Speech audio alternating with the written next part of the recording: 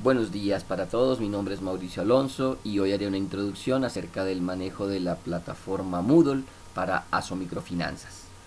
Antes que nada, pues vamos a mirar, para acceder vamos a tener que ingresar una ruta de acceso en el navegador, en este caso será asomicrofinanzas.didaxis.com slash Moodle.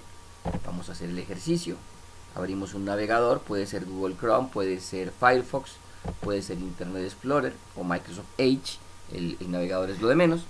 Y aquí vamos a ir a ASO microfinanzas.didaxis.com slash Moodle.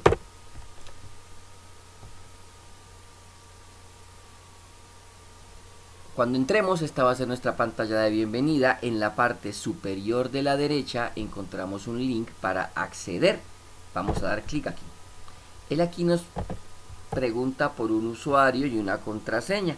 Voy a entrar como un usuario común y corriente en la primera parte de este tutorial. Entonces, usuario y su contraseña.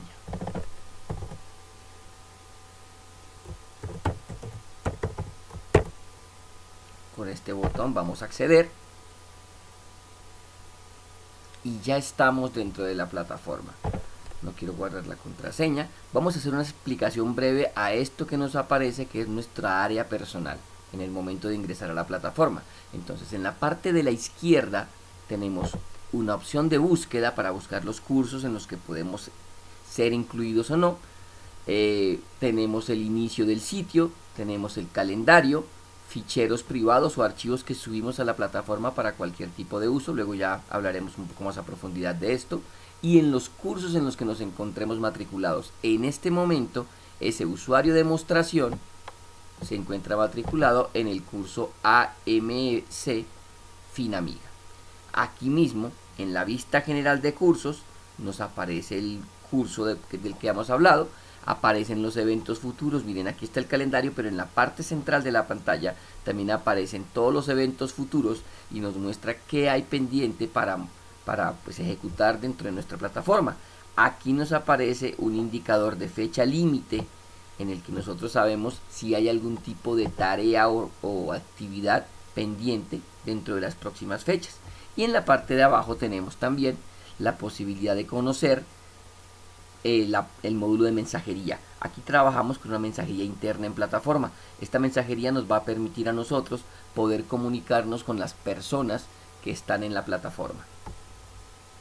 Muy bien, aquí nos dice que estamos identificados como el usuario, en este caso es usuario demo, y con esta opción de aquí podríamos salir. Igual, en la parte superior encontramos este botoncito que está aquí que nos permite conocer la mensajería. Aquí tenemos un mensaje, sabemos por ejemplo que Diego Reyes nos escribió un mensaje. Podríamos ver los mensajes que hemos recibido, ¿de acuerdo? Aquí tenemos un botoncito para las alertas, Aquí están todas las notificaciones que tengamos pendientes en la plataforma. Y aquí la parte de eventos. Como pueden darse cuenta, la mayoría de la información se replica en diferentes partes de la pantalla. Esto es para que tengamos acceso de una manera muy sencilla a la información que tenemos dentro de nuestra plataforma Moodle. Aquí está mi usuario. Y si yo llego a mi usuario, miren, también tengo cómo acceder al área personal, a los cursos y a las preferencias de mi usuario. Adicional a eso tenemos una definición de perfil del usuario y tenemos la opción de salir de la plataforma. Vamos a hacer una breve configuración de este usuario de demostración que creamos para este ejercicio. Vamos a dar clic en perfil. Cuando damos clic en perfil, aquí aparece en qué curso se encuentra inscrito el usuario, qué insignias ha ganado. Las insignias son medallas, son valores agregados que se pueden cargar en los cursos. La persona que se encuentra haciendo la instrucción o quien es el tutor del curso puede, por ejemplo, colocar o crear insignias para las personas que entregan primero la tarea, las que siempre asisten a, a, las clases, las personas que tienen las mejores calificaciones. Entonces esas insignias se crean y a partir de la creación y configuración de las mismas, el usuario va a poder obtenerlas dependiendo de su comportamiento en la plataforma. Aquí tenemos una opción para la edición rápida del perfil. En esta opción de la edición rápida del perfil yo puedo colocar o hacer cambios en mi nombre, en mi apellido, en el correo electrónico que tengo registrado, en la ciudad a la que pertenezco, el país y en la descripción. Vemos por ejemplo que en este usuario no hay una descripción. Es importante que todos los usuarios tengan una descripción en la que se eh, hace claridad sobre el perfil de la persona. Por ejemplo, este puede ser, eh, el perfil de una persona puede ser, por ejemplo, eh, asistente de gerencia con 10 años de experiencia en finanzas.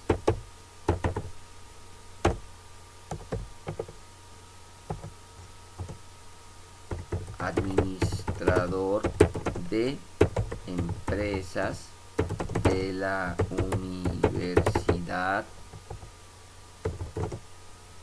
libre, ejemplo, bueno, etcétera. ¿De acuerdo? Cuando tenemos descrito el perfil o cuando hicimos alguna modificación en este caso, le podemos decir que guarde los cambios y ya el usuario ha tenido una modificación. ¿Ok? Aquí aparece si tiene entradas en el blog, si ha participado en discusiones, si ha hecho réplicas de discusiones en los foros, en los cursos en los que se encuentra matriculado. ¿De acuerdo? Muy bien. Ahora, vamos entonces ahora con este piñón de la parte superior derecha tenemos también otro tipo de opciones aquí o aumentamos el número de opciones. Si lo vemos, aquí hay unos detalles de usuario. ¿De acuerdo? Entonces tenemos eh, el país en el que está, la ciudad en la que está registrada el usuario. Y aquí tenemos una opción para la edición del perfil. Como podemos darnos cuenta, esta edición del perfil es una opción un poquito más avanzada de lo que hicimos en la versión anterior. Aquí tenemos un panel un poco más grande. Por ejemplo, aquí en apellidos, usuario demostración, me faltó una tilde en la O.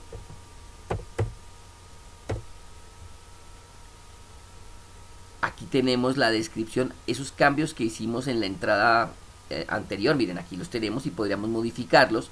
Aquí tenemos unas opciones un poco mayores porque yo podría, por ejemplo, manejar todo un panel aquí para colocar negrita, ¿de acuerdo? Para colocar subrayado, eso es, para insertar imágenes, bueno, etcétera. Aquí tenemos la opción de la imagen del usuario. Nosotros vemos que aquí hay un avatar, un icono en blanco, como la imagen de nuestro usuario.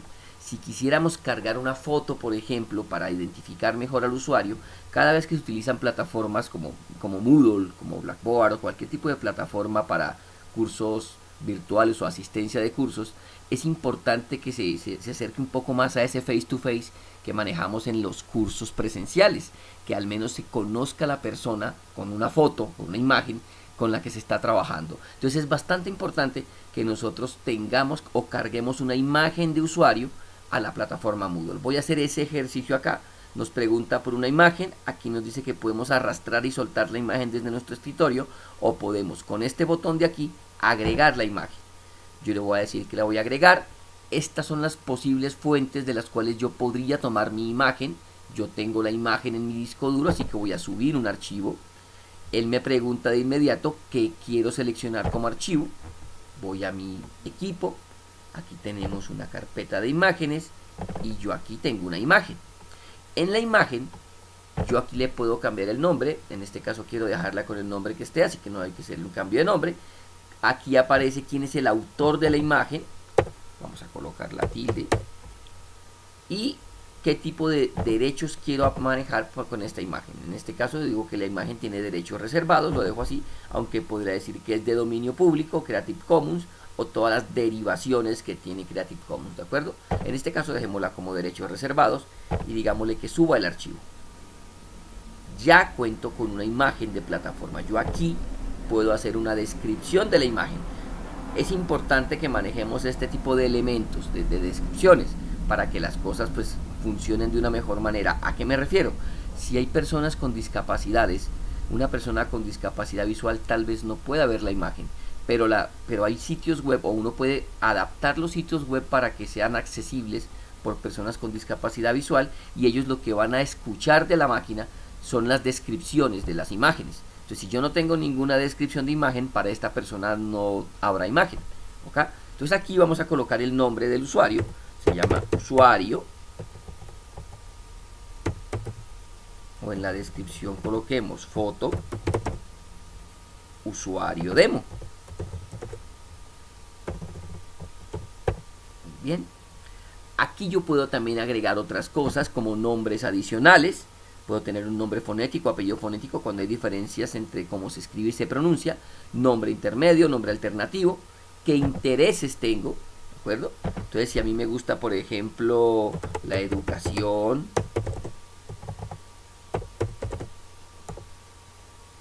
eh, leer,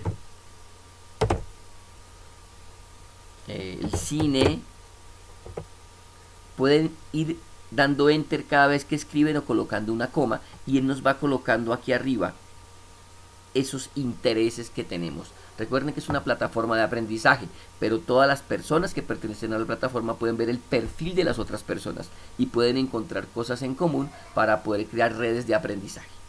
Vamos a decir y actualizar la información personal. Y en este caso se pueden dar cuenta que ya se hizo todo un cambio en el perfil del usuario. Tenemos una imagen del usuario, tenemos una descripción del usuario, tenemos unos intereses del usuario. ¿Ok? Vamos a salir de la plataforma. Ya saben, es clic en el nombre del usuario y salir. Continuaremos luego con, la, con, la, con el trabajo dentro de estos tutoriales para poder hacer uso de la plataforma. Muchas gracias.